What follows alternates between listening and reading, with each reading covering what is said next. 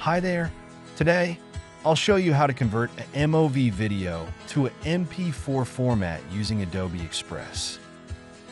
First, open Adobe Express and then select Explore Quick Actions.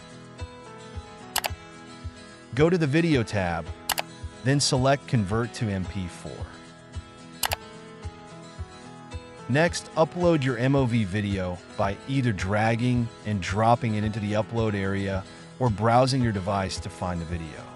Once your video is uploaded, you can trim the video by adjusting the start and end points using the timeline.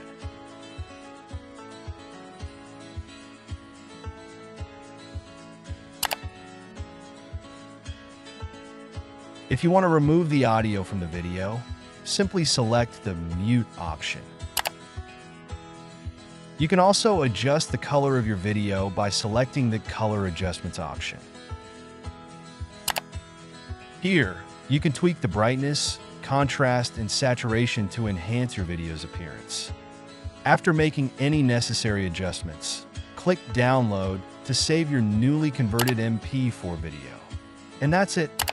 You've successfully converted your MOV video to MP4 using Adobe Express.